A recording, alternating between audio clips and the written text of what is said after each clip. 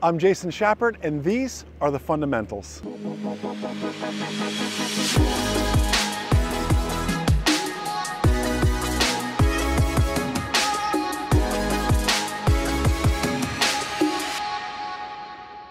What's happening, MzeroA Nation? Jason Schappert here of MzeroA.com. Episode three now of the fundamentals.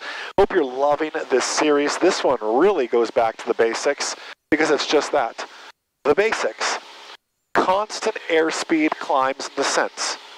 Can we hold that? This constant rate climbs and descents as well. I know this sounds kind of boring. Please bear with me. We're going to make it exciting here. We're up flying with no particular agenda, 37 something, 3,700 something feet, 85 knots. Could you give me a climb at 90 knots? Can we start with that? Can I clear the area real quick first, though, before we do all that? Let's knock out some clearing turns here.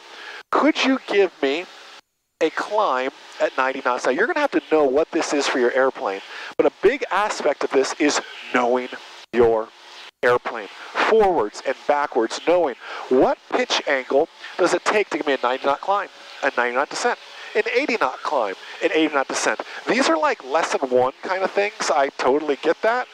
But I'm telling you, sometimes we forget about the basics. Lesson number one. Area is clear. Just verifying.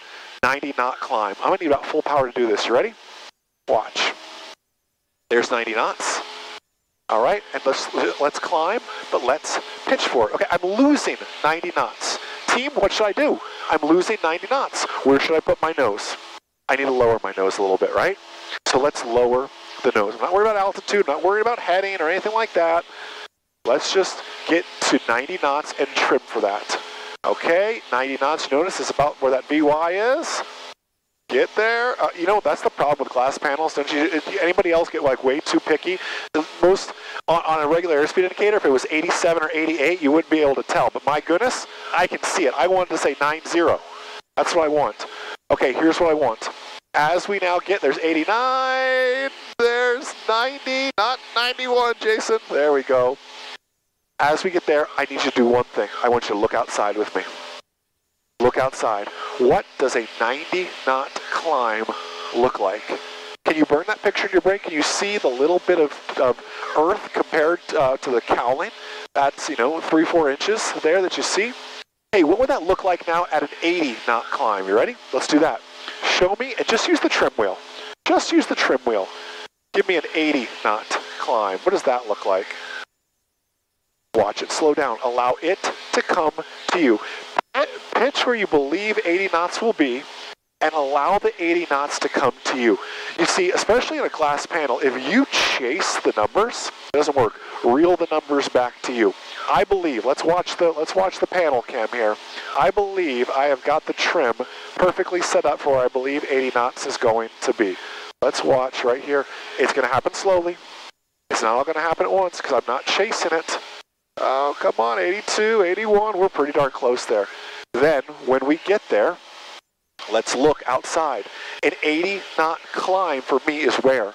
It's putting the nose to where I basically can't see the horizon out in front of me. That's what 80 knots at full power looks like. Okay? Could you give me 80 knots now at 2,300 RPMs? Watch this. 2,300 RPMs. Lock it in. Climb at 80 knots, please. All right, this is going to take what? Well, pitching up isn't doing it, so where must my nose have to go? My nose must have to go down. I need you to understand, I don't care where you are in your training, I need you to understand one very important fundamental truth. We pitch for airspeed, we power for altitude. Your airspeed is a direct reflection of your pitch.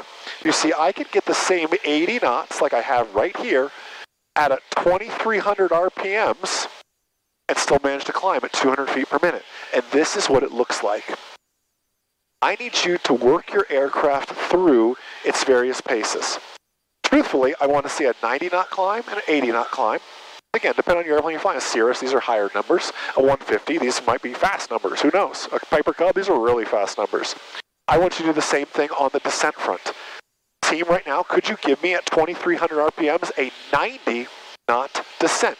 Let's try it. A 90 knot descent. There's 90. Don't no faster. See, I'm going a little fast. Where do I need to put the nose? I, I was too aggressive with my descent. I've now got a 90 knot descent coming up here. But there's something interesting happening. I'm at 90 knots, team, but am I really descending? No, I'm actually climbing through the roof right now at 90 knots. I pitch for airspeed. I power for altitude. Just because the nose is basically pointed about down, it feels like, it's not the case. I need to bring some power back. I've now registered, okay, 22, 2300 RPMs, 90 knots is not going to do it for me. Let's try 2000 RPMs. 2000 RPMs and 90 knots. The nose will have to go lower in this configuration. Maybe not that low, let's see. Right about here. 2,000 RPMs and 90 knots gives me about a 300, 400 foot per minute descent. These are the numbers I want you to track. Can you, what is a 500 foot per minute climb? A 500 foot per minute descent, a 90 knot climb, a 90 knot descent. When you have the opportunity to know your airplane, these are the configurations I want you to work and figure out. So, M0 Nation, I think that was more of an interesting video than maybe you thought it was going to be. At least I hope so. I, I loved doing it. I love showing these different configurations. I hope you're loving the Fundamentals series, and we're going to end it strong with a live stream via Zoom. Why? Well, because I want to see your smiling faces. I'm tired of, you know, just being locked up and everything else. I want to get out there and see your smiling faces, even if it's just on a webcam via Zoom. Uh, we're doing that. It's March 30th at 8 p.m. Eastern Time, and you can hop in and sign up by going to MzeroA Live mzeroalive.com to go ahead and get yourself registered for that. So mzeroalive.com will get you signed up for that. Even if you're watching this as a recording later down the line, I'm sure there's other live streams there we're doing as well. But we're going to be tying a, just a nice little ribbon on top of this phenomenal fundamentals series. I can't wait to share more with you all. So listen, mzeroalive.com and share with me in the comments. What are some of your numbers, your power settings?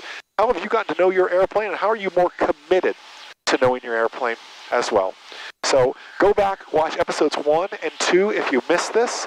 Have a blessed, amazing, outstanding rest of your day. And most importantly, remember, the good pilot is always learning. Have a great day, everyone. We'll see you.